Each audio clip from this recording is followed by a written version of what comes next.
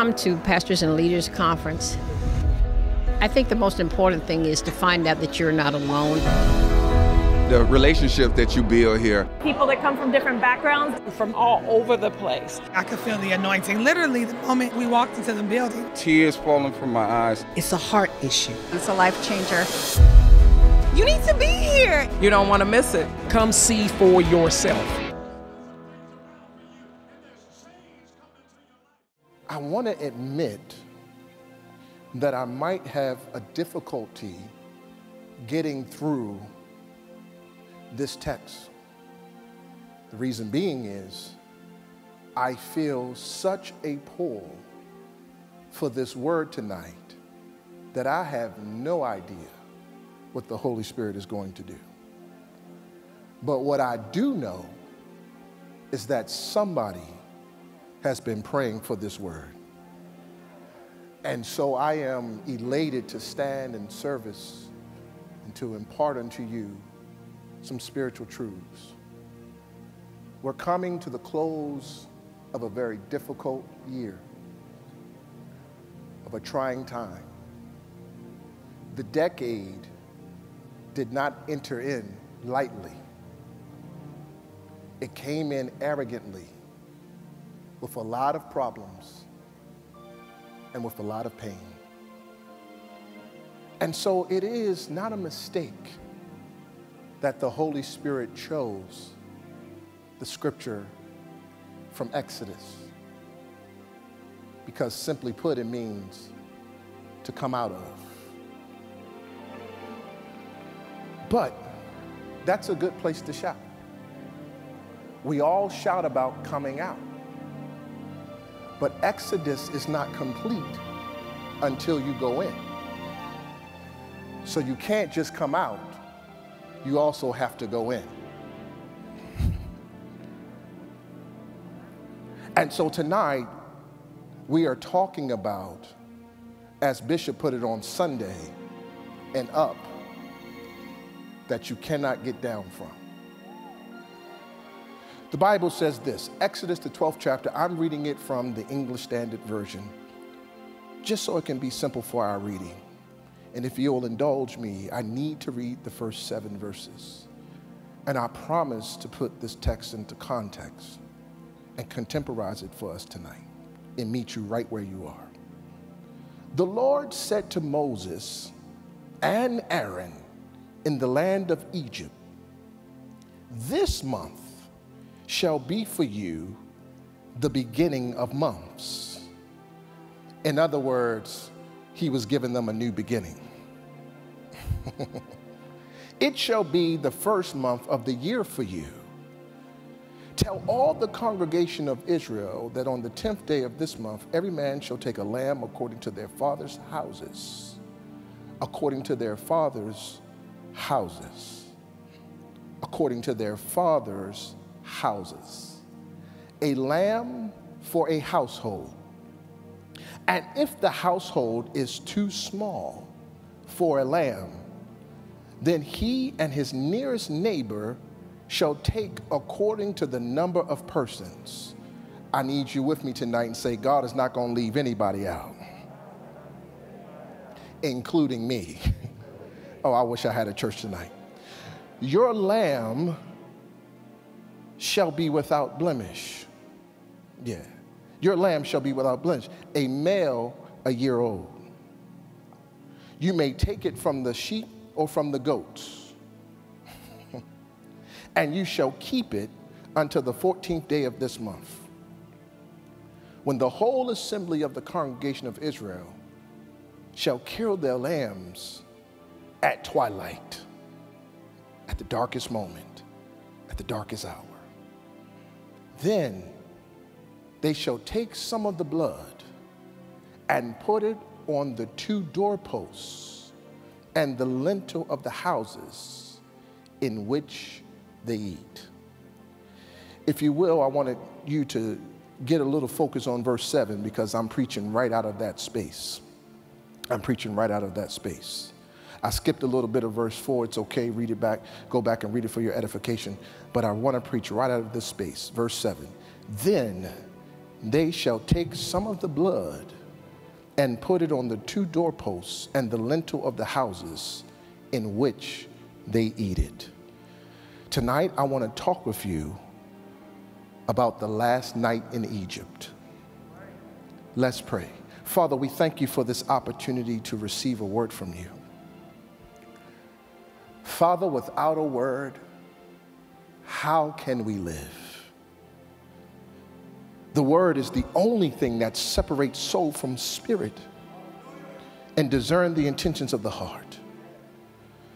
So, Father, I come today as a yielded vessel asking, pleading that you speak such a word that not just change our very nature, but causes us to be conformed to the image of your Son, Jesus that we might be transformed by the renewing of our minds.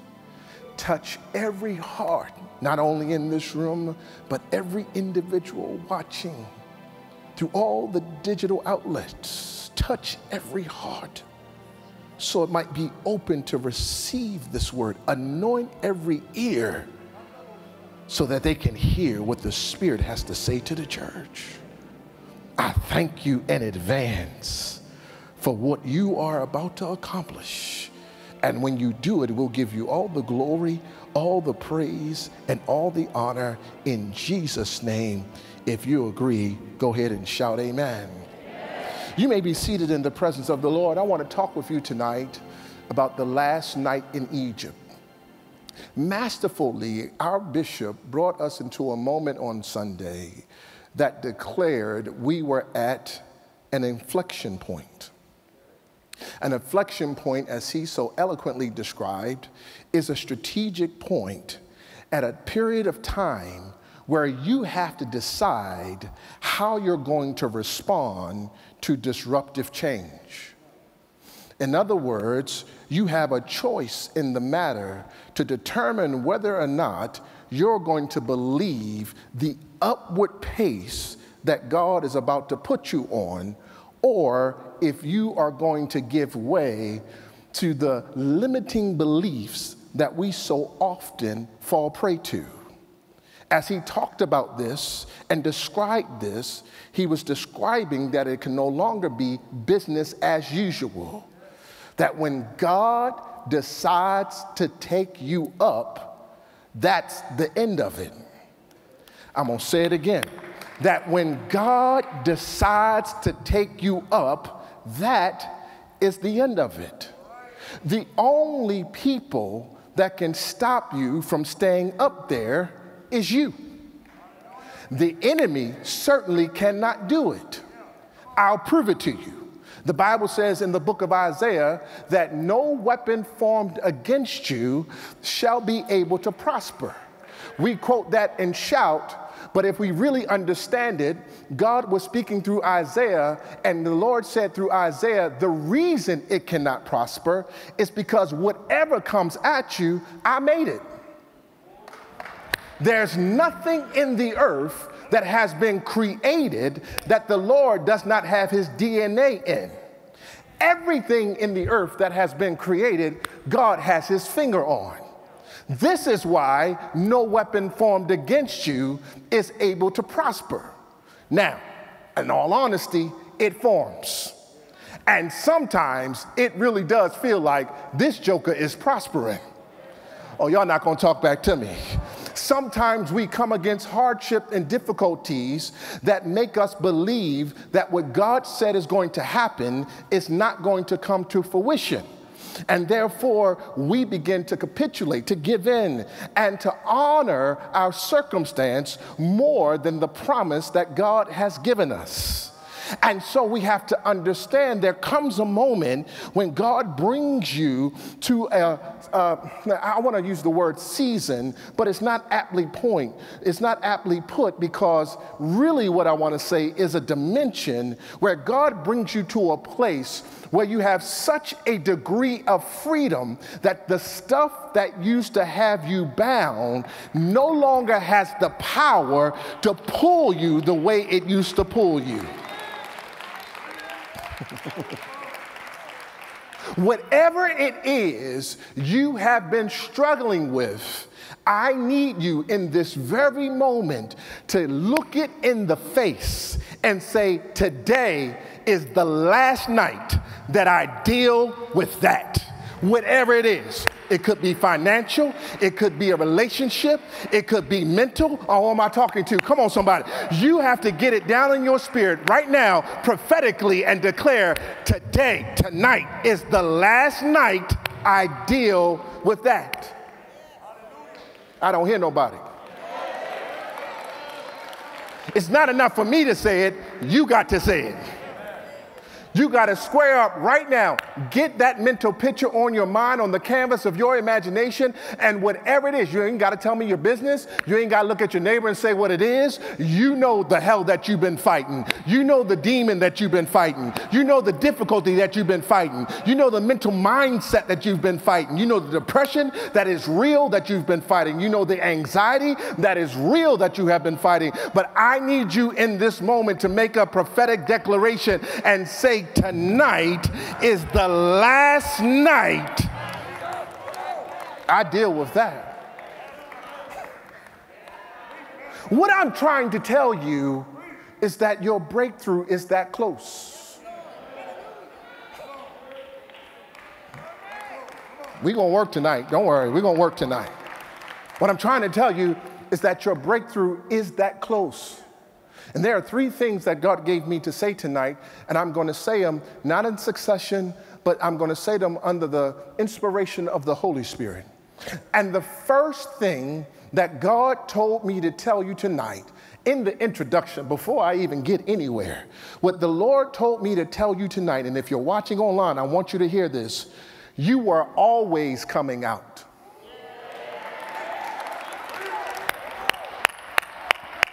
I'm gonna let the Holy Spirit do his thing. You were always coming out. You were scheduled to come out. You were destined to come out. You had a reservation to come out. You were always coming out. So, what convinced you that you got to stay in? The devil is a liar and his brother and cousins in them. Y'all ain't saying nothing to me up in here. You were always coming out. I want that to sink, marinate down in your spirit. I do not want that to be a trite statement that we pass over and trivialize in services like these because you're trying to catch up with what, the, what I'm saying. But just hold on to that right there for right now. Park right there and realize you were always coming out. It was always going to happen.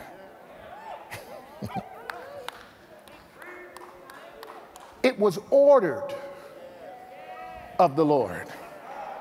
It was promised by God.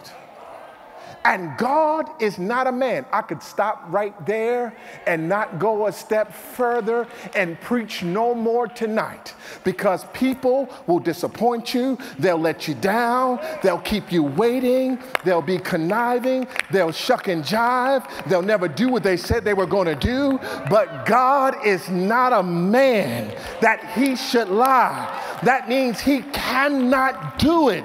If he does it, he can't be God.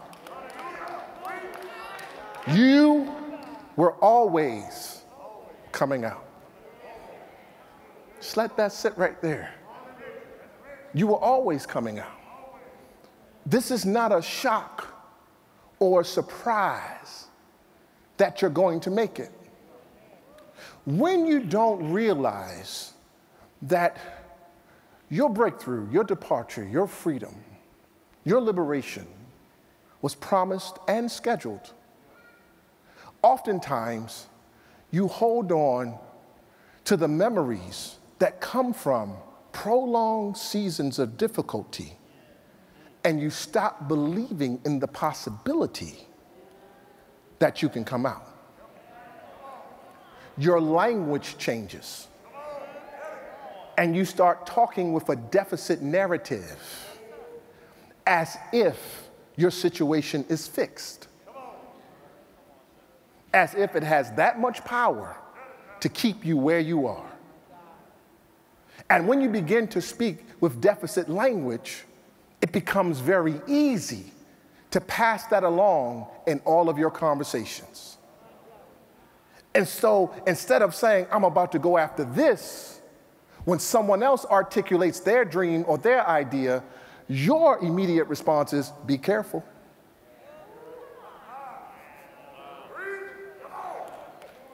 Because now you no longer believe in the possibility of not only your dream, but somebody else's endeavors. And so you start talking with narratives that suggest things are never going to get better. And therefore, your language is coming from your mindset. As a man thinks in his heart, so is he. And so you begin to think this way and you begin to talk that way. And I know I'm talking right because you're quiet. you're quiet. It is not our experiences that make us or break us, it's our interpretation of them and the language that we use when we talk about them. And so, because we use deficit language that is defeated before we can ever discover a pathway to victory, then the memory of the experience is also defeated too. So, you never get to use your memory as momentum.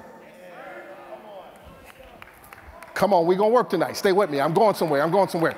You start using your memory as misery, and every time you tell the story, it's worse and worse and worse to the point that you add stuff that didn't even happen.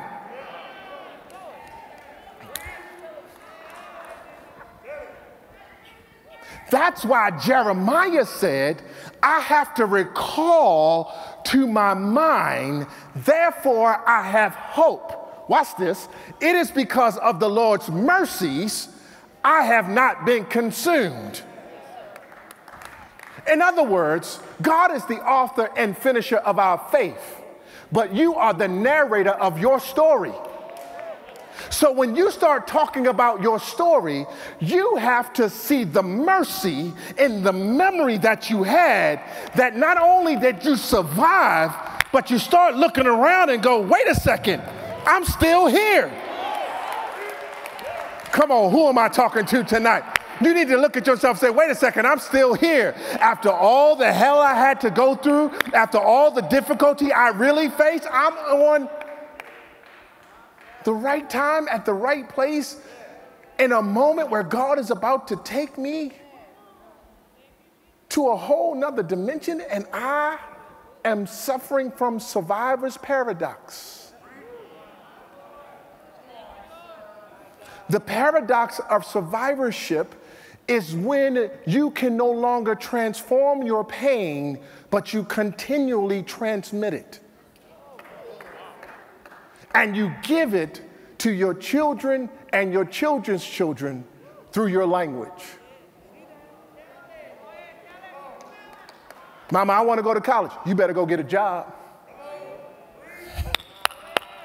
Oh, y'all quiet in here tonight. Y'all quiet in I'm, I'm going to start my business. I don't know about that. The average business fails in the first couple of years. I don't know if you're going to make it.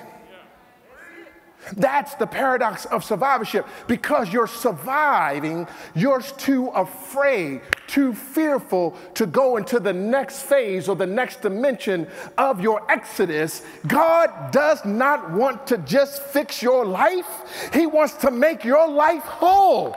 He doesn't just want to bring you out of something that you've been struggling with, He wants you to be so far removed from that thing that you got to recall to your mind what even happened.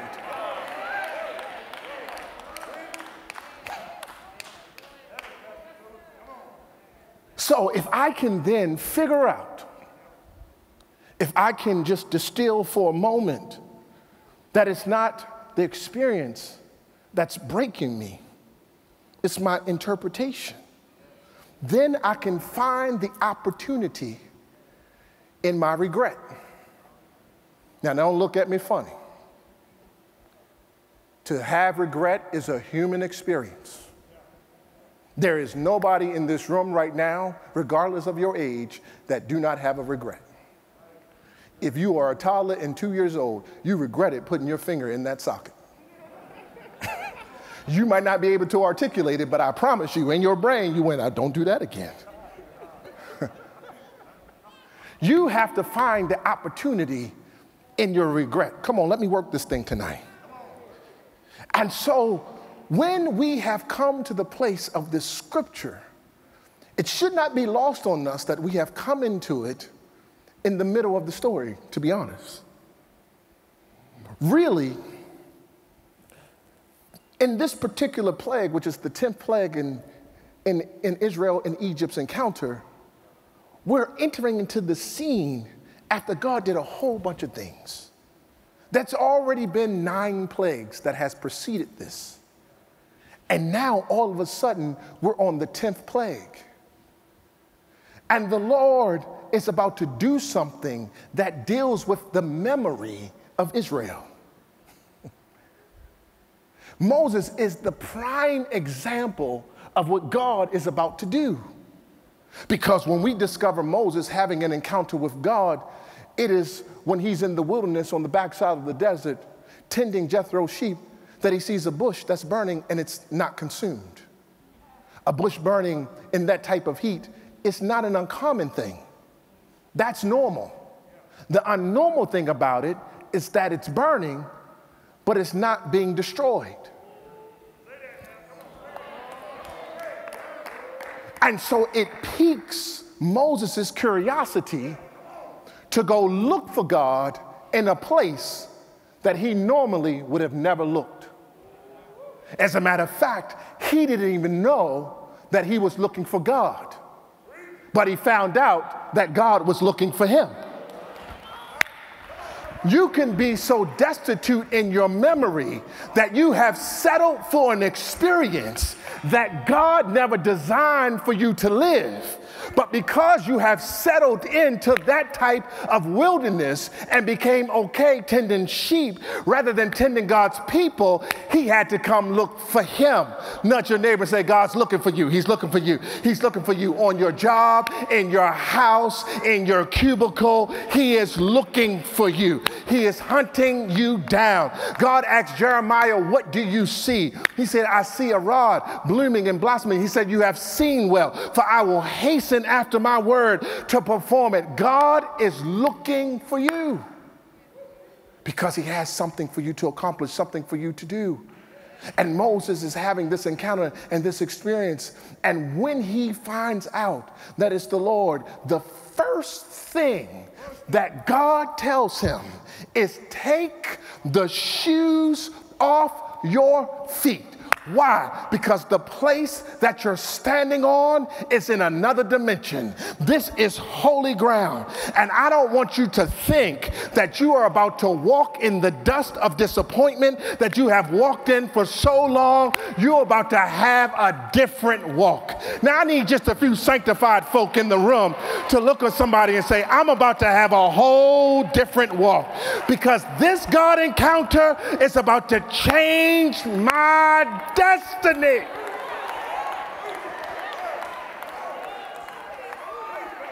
I got to get out of this because I'm just in the intro. I got to get it. I feel the anointing of the Holy Ghost. Somebody shout, My whole walk is about to change. I used to walk busted, but I'm about to walk blessed. I used to walk angry, but I'm about to have the peace of God that transcends all understanding and guards my heart and mind in Christ Jesus. My walk is about to change.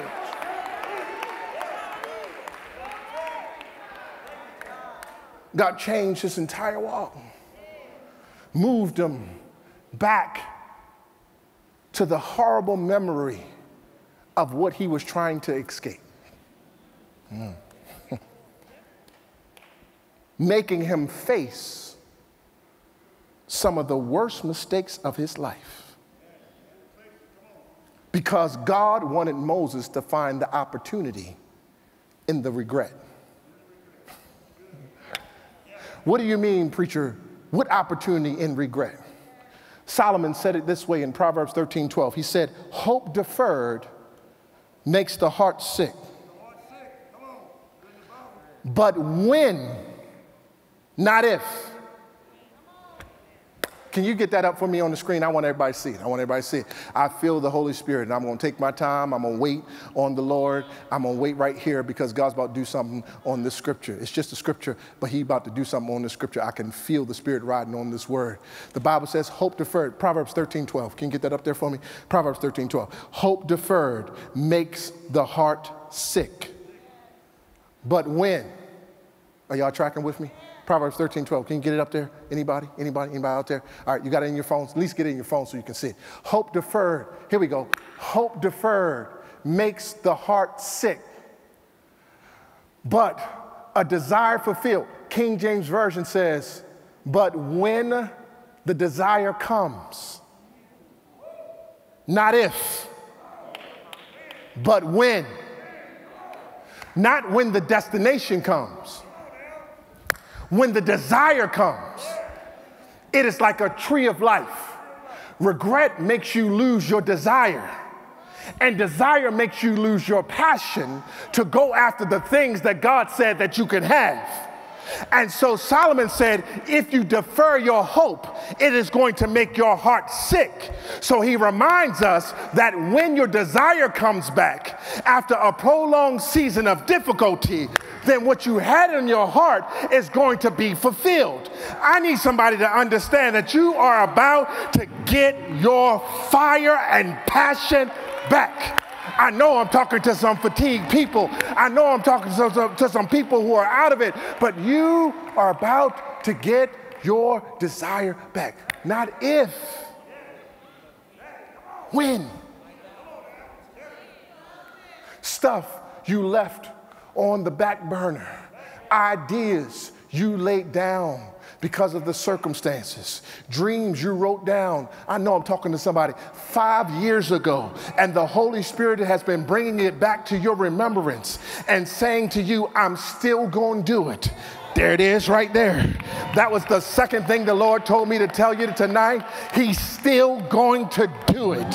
Whatever it is He promised you, He's still, I wish I had a church. He's still going to do it.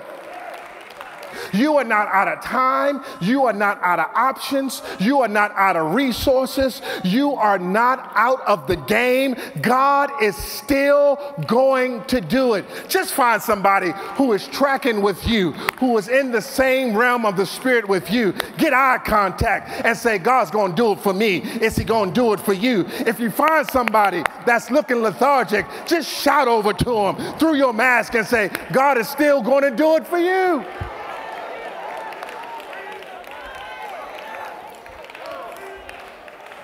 Yeah, yeah, yeah, yeah, yeah, yeah, yeah, yeah. My God, my God, my God, my God. You let the difficulty defer your hope. And where there is no hope, there can only be hypervigilance. So you're looking for something, it's just not positive.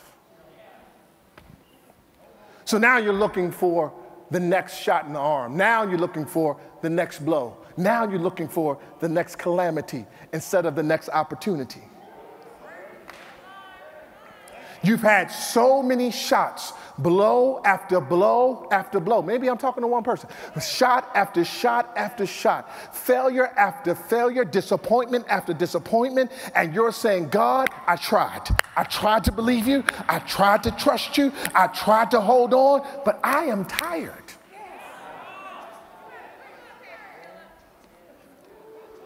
And church folk can't be honest about being tired. Because I will bless the Lord at all times and his praise God. Man, I'm tired. I barely made it in here tonight.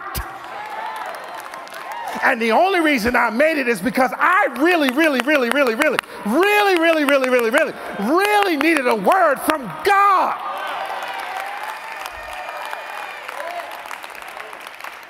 So so, so, so, so, so. So God says, God says, don't defer your hope. It'll make your heart sick. But when the desire comes, It, oh God, oh, I, don't, I can't stay here. When, if you, if you just track with me, when the desire comes, not when what you're hoping for happens, but when you just get the desire, it's a tree of life. Soon as you get your desire, something is about to start growing. Something is about to start flourishing. Something is about to start happening. Soon as the desire I feel that desire is falling all over the room, and your heart is starting to unwind and unravel, and the hardness of it is cracking and falling off. And you'll start realizing that God promised me something. And I let hardship and difficulty make me stop believing my God.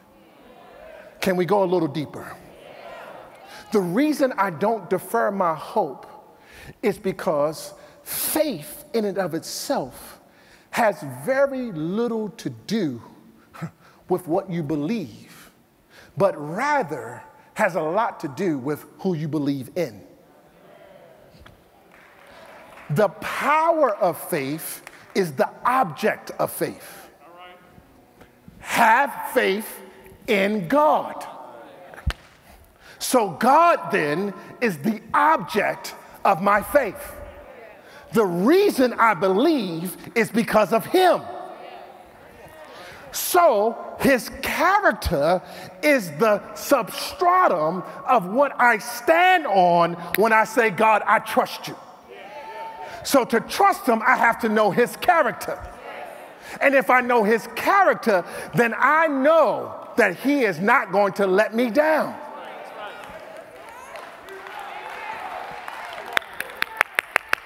Somewhere along the way, you forgot that he was Jehovah. And Jehovah simply means, I am that I am. I'll be whatever you need me to be. If you need healing, I am Jehovah Rapha. If you need victory, I am Jehovah Tsidkenu. If you need peace, I am Jehovah Shalom. Somewhere along the way, you forgot he was El Elyon, that he's omnipotent, that he's omniscient, that he is who he says he is. You forgot his character and his nature because you were having faith in what he promised more than having faith in who he was.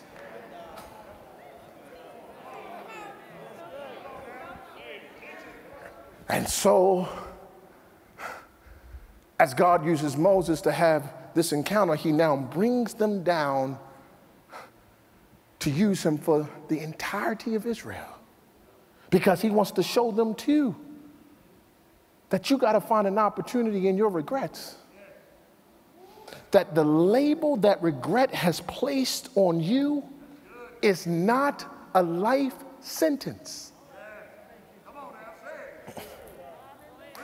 Regret lays the foundation that builds up the immunity to change. So when God says, I'm about to do a new thing, you start looking for all of this new stuff to show up. Because of your regret, you now have an immunity to how he's going to do it. He didn't say, I'm going to make new things. He said, Behold, I make all things new. So you're looking for new things instead of for looking what you already have, where you already are, and God saying, I'm gonna show you how to take what you already got and use it in a new dimension. Oh, Lord, have mercy. Come on, we still got a lot of work to do. We still got a lot of work to do. And so, so, so, it, it, this, this thing is, it, it gets deeper. Regret is sorrow or remorse over something that has happened or that we've done. Regret can also be a sense of disappointment over what has not happened. Uh, put a pin right there. Such as regretting wasted years, missed opportunities. And this is a universal human experience. This is not to point you out, to feel shameful. Sinatra said, Regrets, I had a few, but I did it my way. The problem with that statement is when it comes to walking with God, you can't do it your way. and so, how do we disrupt regret? By seeing the opportunity in it. We can use the moments that we wasted to say to ourselves, I'm about to disrupt this habitual pattern that has caused the same outcomes in my life that I've had a hard time breaking out of. And so the only way to do that is to be self critical, but not self cruel. It's okay to say, I messed that up. I missed that right there. I got to go back and tweak that. Maybe I should have read that at length. Maybe I should have got down into the fine print. Maybe I should wait a little longer before I get into the relationship with this person before that happens. But, but, but, but maybe I can look at the decision without having the shame or the guilt of what it caused in my life. Because that's now feedback and data for me to say, okay, my life looks like this when I'm going up and down. And I'm making these decisions when I'm going up and down. Because whatever you do habitually will always have the power to defeat what happens occasionally in your life. So if an occasion comes for you to have increase, but you habitually squander the increase, then what you do habitually will defeat the occasion.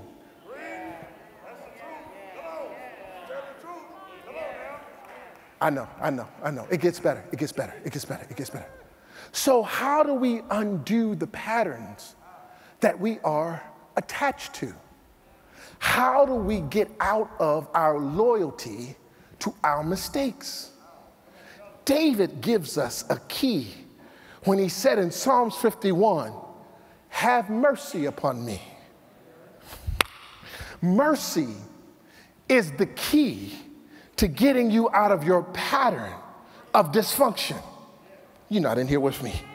David said, Have mercy upon me, O God, according to thy loving kindness, according to the multitude of thy tender mercies. Blot out my transgressions. I wish I had help. Blot them completely out. Make sure there is no record of it. I know I did it, but I don't need the record to show that I did it. So I need your mercy to blot out what I did because what I did is not who I am. I'm ready to be different and to do things differently. So he says, he says, I'm just going to read the scripture. He says, according to your tender mercies, blot out my transgressions, wash me, wash me thoroughly from mine iniquity, and cleanse me from my sin. For I acknowledge my transgressions, and my sin is ever before me. I'm not trying to get away from it. I know what I did. I did it. I did it. I did it. I did it. Y'all not in here with me? Look at somebody and say, I did it. Yep, I did it. I did it. I did it. I didn't trust them. I didn't lean on them. I didn't depend on them. I did it. I did it. Yes, I did. And he said, he said, watch me now. He says, For I acknowledge them, and my sin is ever before me. He didn't say my sin was ever before God.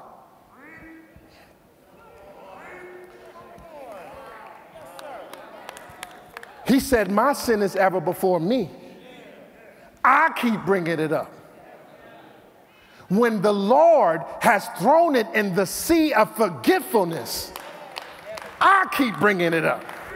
Oh, y'all not talking back to I'm gonna come over here and talk to somebody right here. It's, it's not God, it's me. I keep bringing this stuff up because of regret, remorse, sorrow, and it's disrupting my flow. And I can't break the pattern because I keep giving it life. And so he says, This is good right here, it's feeding me. Against thee and thee only have I sinned. Oh, I need you to look at somebody and say, This ain't none of your business. Oh, y'all trying to play me up in here. Come on, look at somebody and say, What I did ain't none of your business. Ain't got nothing to do with you. Against thee and thee only have I sinned. Thank you, Holy Spirit. Stop letting people keep you attached to what you did.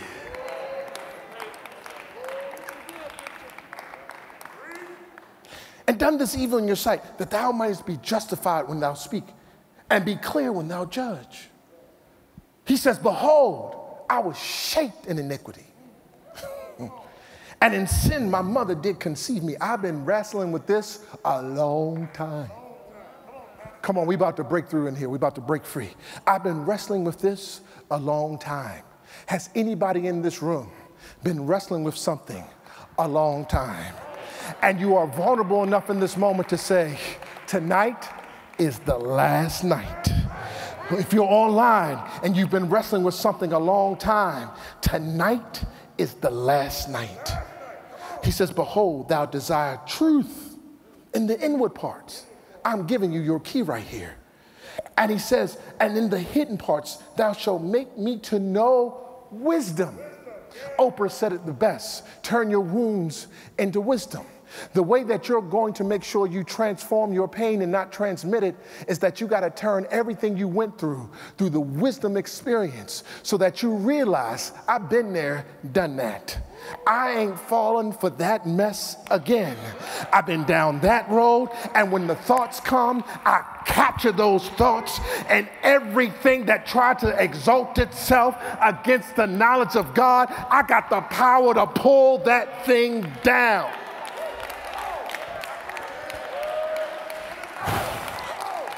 Oh God, I gotta purge me with hyssop. Purge me with hyssop, and I shall be clean. Wash me, and I shall be whiter than snow. Make me to hear joy and gladness. Change my deficit language by changing how I hear. So I no longer hear negativity, I only hear positivity because faith comes by hearing.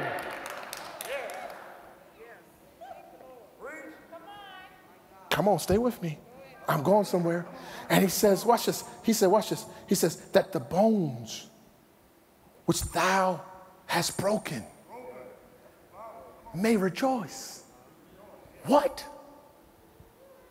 He's going to make my broken places become a place of praise.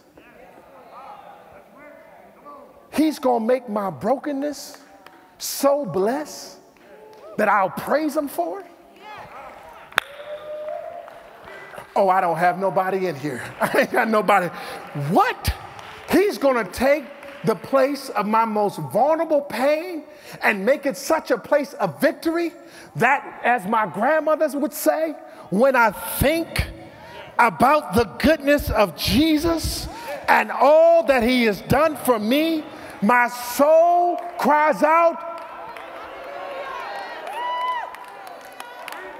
That's a good place to shout right there, and you missed it. That's a good place to give God praise right there, and you missed it. He's going to take the parts of my life that are the most vulnerable and make them a place of victory so that the broken bones may rejoice. Are you getting this? Watch this, watch this. I'm almost there. Watch this. No, I'm not almost there. I'm lying, but I'm going to get there. Here we go. Watch this. Watch this. he says, Hide thy face from my sins and blot out all my iniquities. Here we go. Create in me a clean heart. Create in me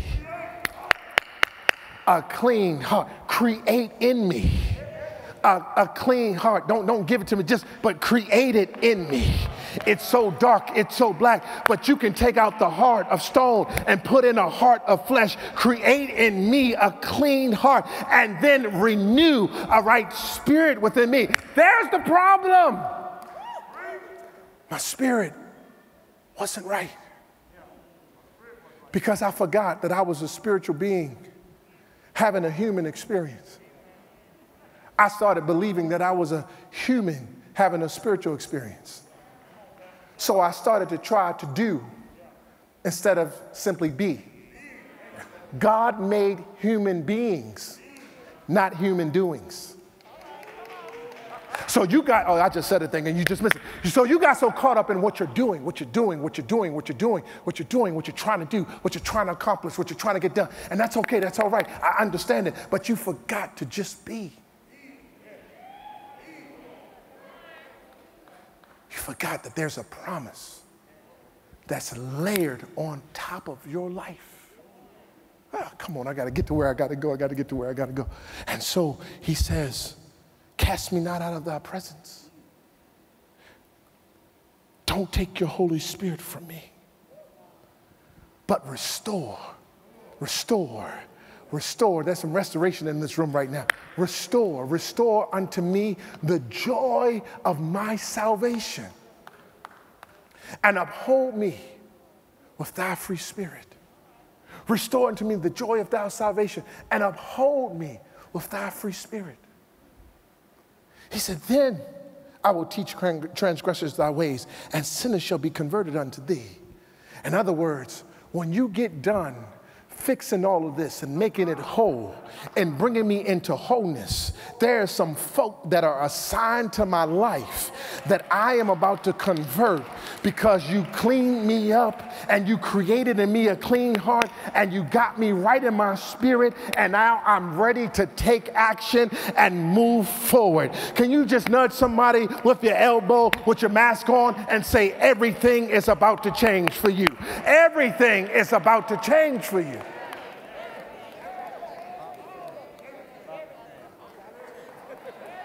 And so, once you see the, the opportunity in your regret by realizing that God can create in you a clean heart and renew a right spirit within you, you then start leaning into your resilience. Come on, so just go with me. Go with me. I'm going somewhere. I'm going to bless you. You start leaning into your resilience. Somebody shout, I'm resilient. I'm resilient. I'm resilient. I'm resilient. Resilience is very important because resilience is the thing that's going to help you understand that everything that you've gone through were lessons that you had to learn, but that your learning needed to be continual. This is not just about your education, but about your learning. Education, most people can acquire, but learning has to become intentional and real realize it can happen anywhere. As a matter of fact, intelligence, it cannot, it cannot, it cannot, it cannot be earned but discerned. You have to realize that you got the goods and you got what it takes already down on the inside of you. Somebody shout, I'm resilient, I'm resilient. Resilience is the capacity to recover quickly from difficulties or toughness, or it is the ability of a substance or an object to spring back into shape and not lose its elasticity. Look at somebody and say, I'm resilient, I'm resilient, I'm resilient. The problem with your resilience is you think that you're about to bounce back. Look at somebody and say, I got good news for you. I got good news for you. You are not about to bounce back because when God takes you up, He doesn't cause you to bounce back, He causes you to bounce beyond where you were. Somebody shout, I'm resilient. And the reason I went down is so that I can go up to a place that I never get back to where I was. Oh, I wish I had a church in here. Somebody say, I'm about to bounce beyond anything I could ever imagine. Woo, Lord have mercy. My God, I feel this thing in here. There is a bounce beyond your limitations. There is a bounce beyond your financial situation. There is a bounce beyond the difficulty that you face right now. You are a bounce beyond it. I know depression had a hold, but the Spirit of the living God is about to break that thing off of you to the point that you don't even recognize your own joy. I wish I had somebody in here. You are about to bounce beyond. Woo! Come on, Holy Spirit. Come on, Holy Spirit. Somebody shout, I'm bouncing beyond. Now unto him who is able to do exceedingly and abundantly above all that you ask or think. This is not a bounce back, this is a bounce beyond. Oh, somebody need to tweet that. Somebody needs to type that right in the chat. Somebody needs to say and declare, this is not a bounce back, baby.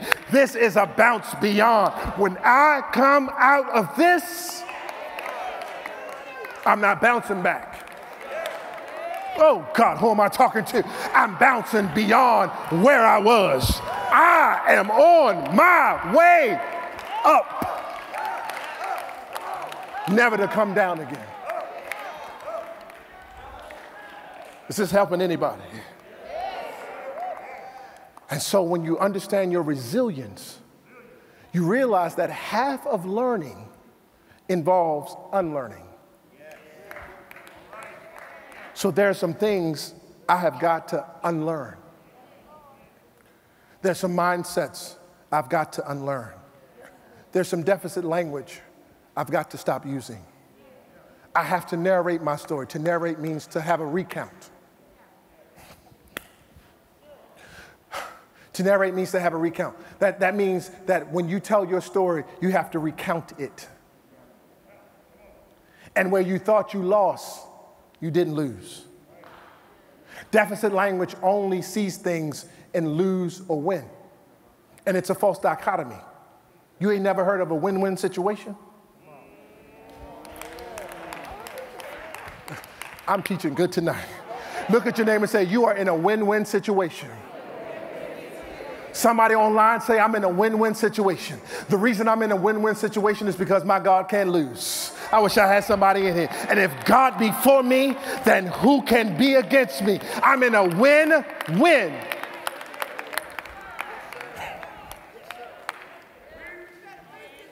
So now we enter into the text. The text says that the Lord instructs Israel. Yeah, all that was introduction. I did all that to get you here.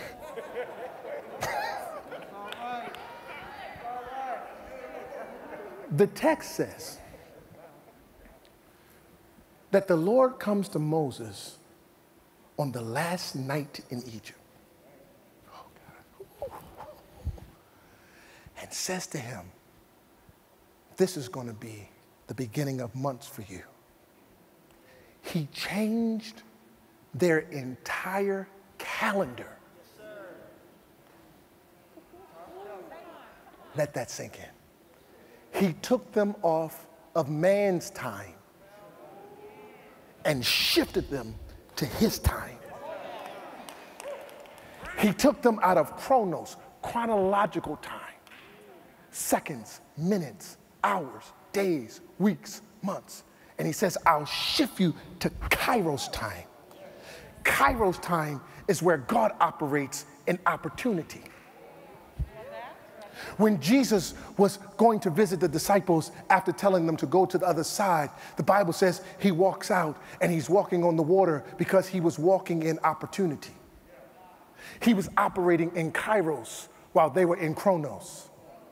See, in the chronological timing of things, it looks like you're not going to make it. But the Bible says that Jesus, this is just an anecdote, the Bible says that Jesus was going to pass by them because they failed to learn the lesson of the loaves. He wasn't stopping because he was hoping that they would get the lesson. So he put them in a situation to learn. Your situation is not a life sentence. It's so that you can learn who your God is. Okay. So, so, so, right, uh, let me leave that alone. So, so he shifted their entire calendar from a Gregorian calendar to what is called a sacred calendar.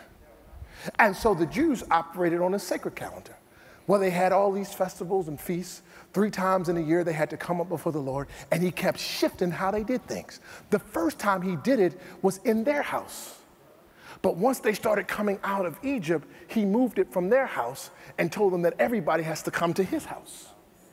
But where we find ourselves in the text is where the Lord is talking to them about their house.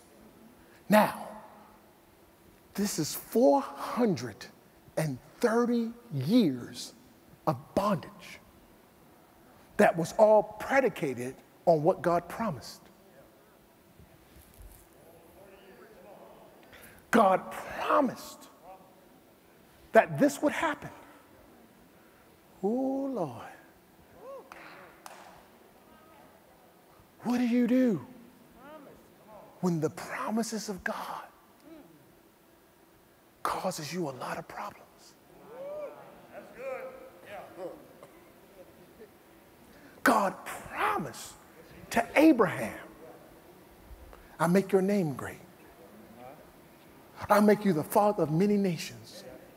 And while he was talking to him, it got dark. And Abraham saw a glimpse of what we're talking about.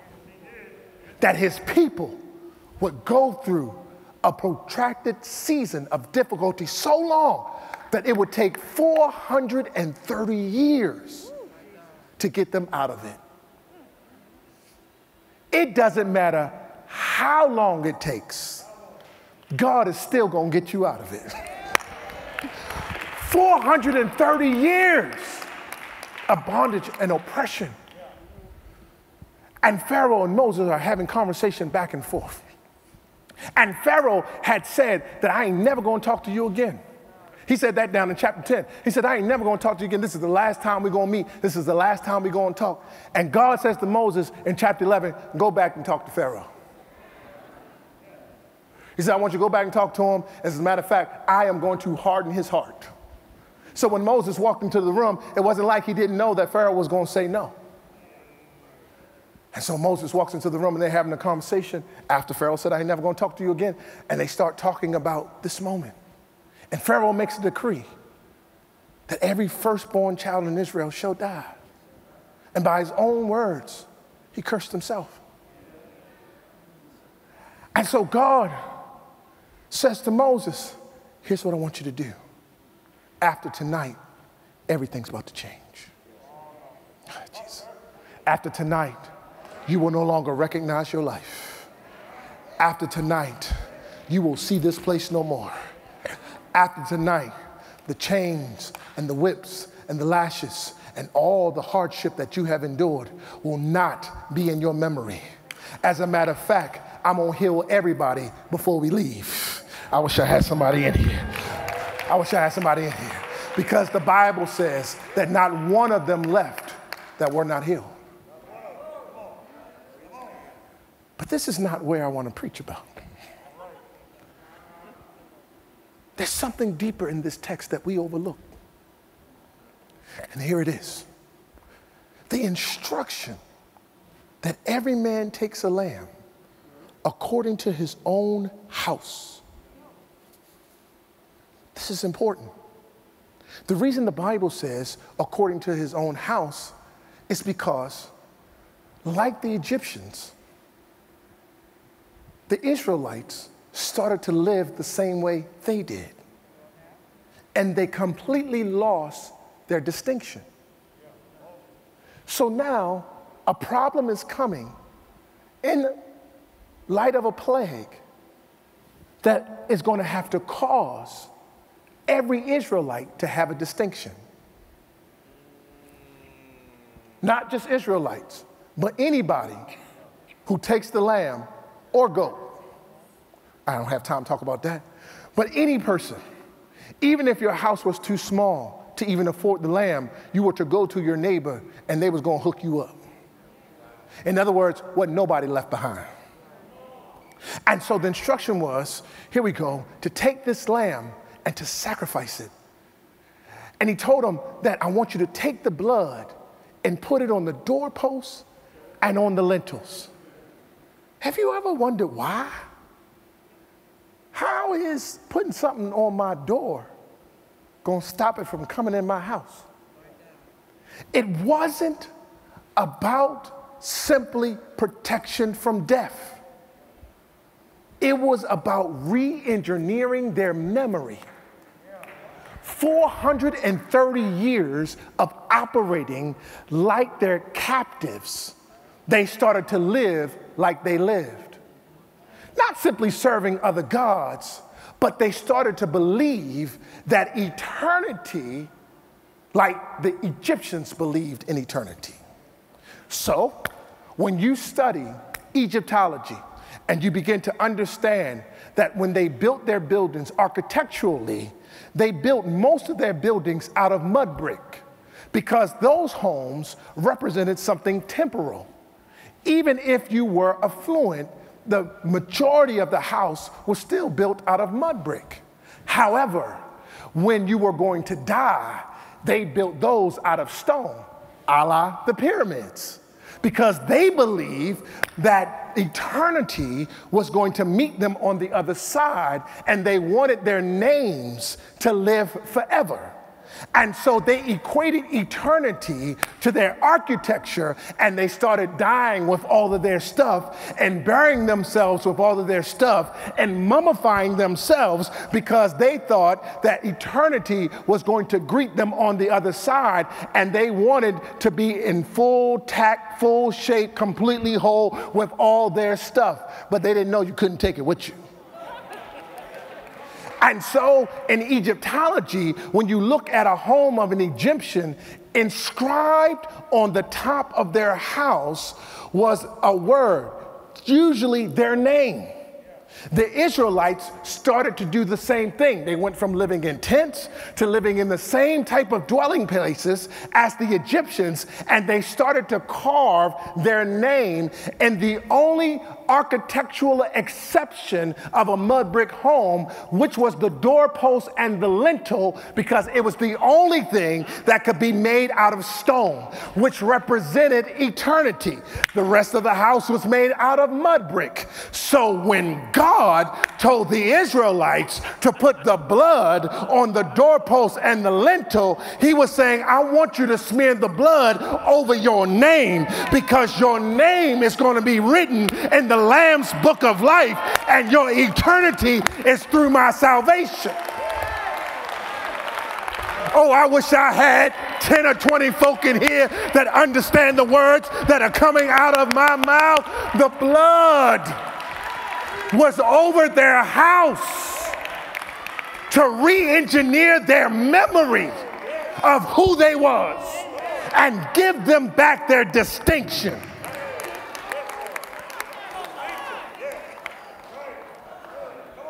Woo, glory to God. Did you hear what I just said? So, the instruction that God gave them was to say to them, Put the blood over the name of your house. I dare you right now to just plead the blood over the name of your house. Whatever your name is, I dare you to go ahead and plead the blood over it right now. Over your children and your children. Y'all not in here with me. Y'all are missing me tonight. Over your children and your children's children. I dare you just say, I plead the blood over my family, over my babies, over my money, over my stuff, over my home, over everything in it. Because the Lord was trying to show them that this is about covenant. This is about covenant. And I'm going to do this thing through my blood. Oh God, Lord have mercy. Lord have mercy. Look at somebody and say, that's worth the price of admission right there. Y'all try and play me up in here. That is worth the price of admission right there. That the blood was put on the doorpost and the lintel so that I could realize, watch this, the covenant eternal purpose of God so I don't lose my distinction?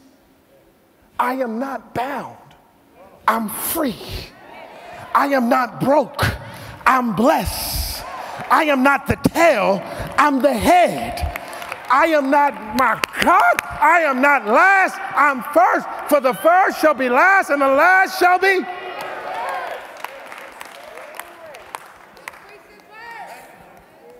We're losing our distinction. Are you getting this? We're losing our distinction.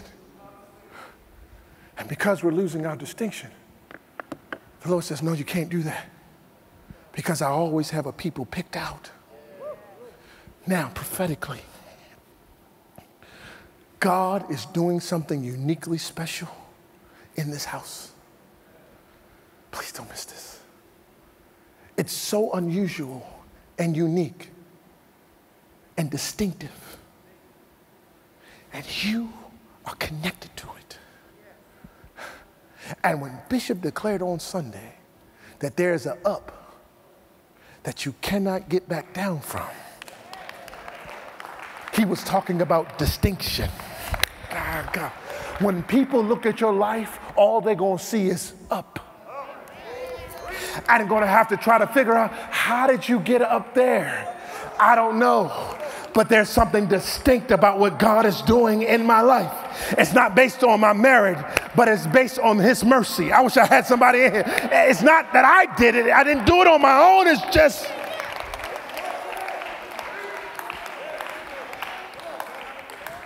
And so, the last night in Egypt, God re engineered their memory and their mindset to cause them to stop regretting and to start being resilient and to realize that your resilience is going to cause you to see that this is not a bounce back, but a bounce beyond. And once you realize that, you got to eat whatever you're going to eat in haste because the moment you start thinking you're going to stay here, Pharaoh's going to say, Take all the stuff you need to take and get out of here. Not only am I going out and up, but I'm going out with a pace and a speed that's unprecedented. Look at your neighbor and say, I'm going out quick, baby. I'm going out quick. So I got to eat it in haste because everything is about to change real quick in my life. I got to get busy. I got to get going. I got to get moving because God is on the move.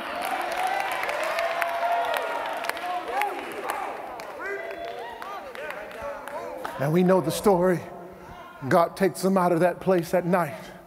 And the Bible says that the Israelites were favorably, was favorably treated by the Egyptians because God made the Egyptians favorably disposed to them.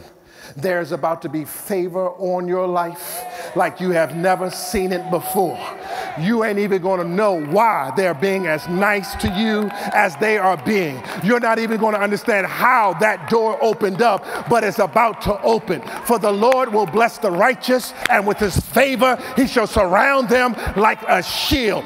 Get ready that everywhere you go, you're walking in a shield of favor, and stuff that normally would take you out, it's just going to bounce off of you because you are protected by the blood of Jesus Christ. Somebody shout, I'm about to walk in favor that I never walked in before.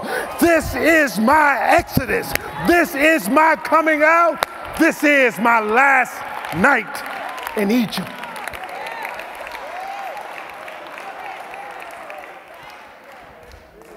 This is your last night in Egypt. And there's one last thing that God told me to tell you.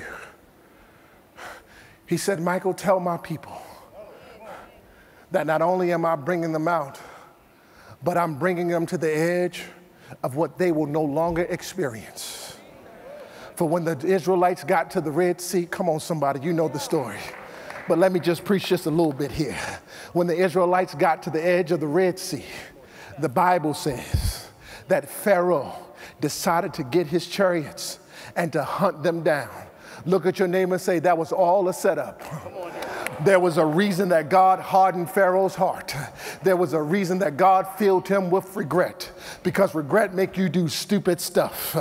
When God told Pharaoh that he was going to have to let his people go, Pharaoh said, I ain't going to do it. But he had to do it.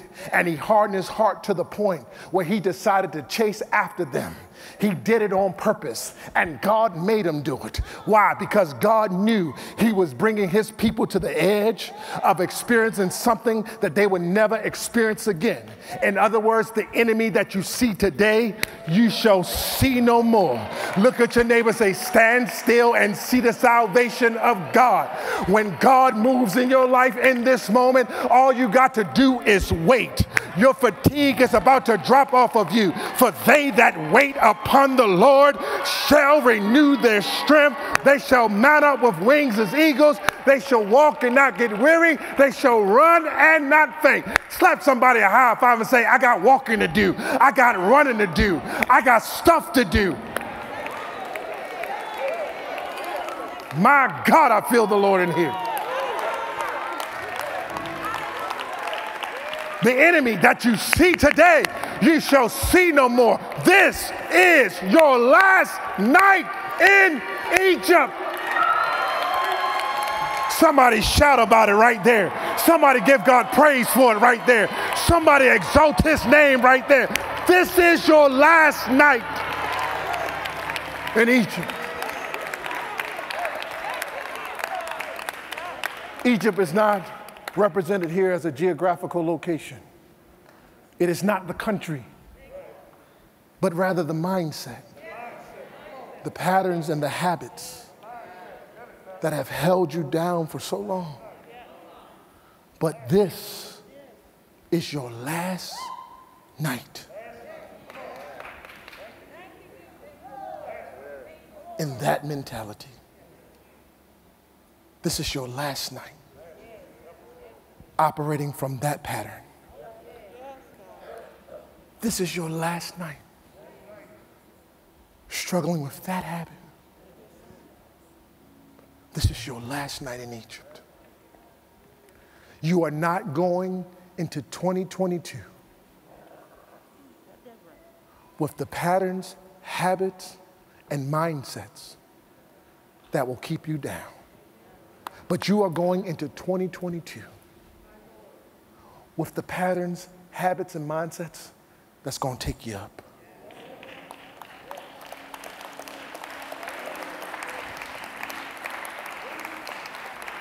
So let this mind be in you that was also in Christ Jesus.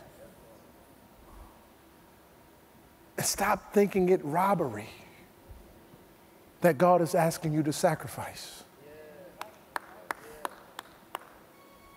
These people were in bondage for 430 years, and God told them, Give me a lamb. I'm broke. I'm poor. I'm tired. And God said, No, but if you want this to be your last night in Egypt, there's always sacrifice What are you willing to give up to go up? What are you willing to let go of to go up? Are those habits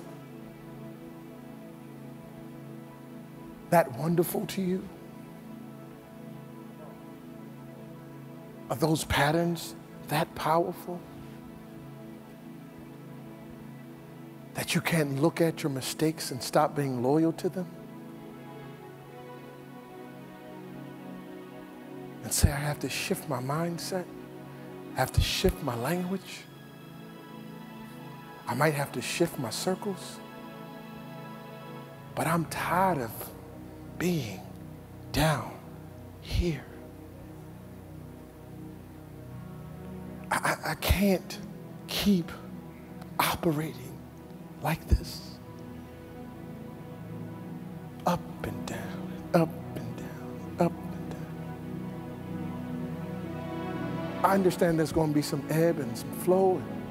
I get that. That's not what I'm talking about. I'm talking about the inconsistency that you've had in your life, all because of the regrets, because you keep remembering it wrong, and you won't recount the story. So you keep counting yourself out. Can I tell you, whoever counted you out failed math?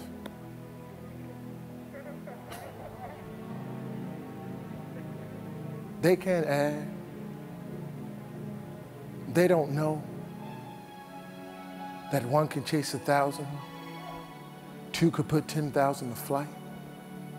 If we continued on that same line of math, three people gathered together concerning anything would chase a 100,000 things four people, it will grow exponentially to a million things.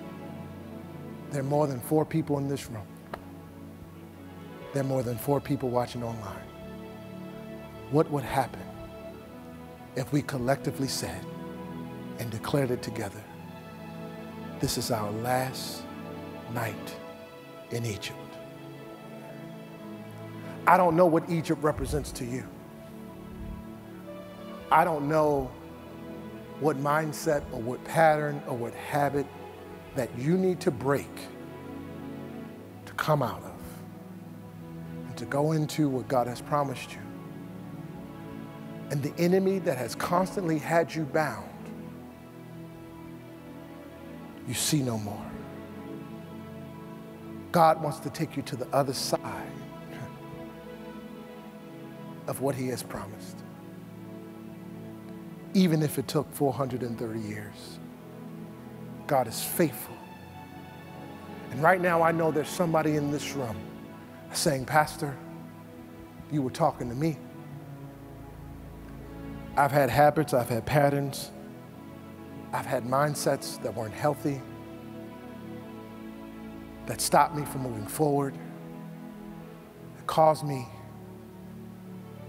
to not see God's goodness the way I know He's been good to me. I've held suspicion in my heart of the goodness of God. Well, tonight, you can determine, as God has already told you, this is your last night in Egypt. To come to Pastors and Leaders Conference, I think the most important thing is to find out that you're not alone. The relationship that you build here. People that come from different backgrounds. From all over the place. I could feel the anointing. Literally, the moment we walked into the building, Tears falling from my eyes. It's a heart issue. It's a life changer. You need to be here. You don't want to miss it. Come see for yourself.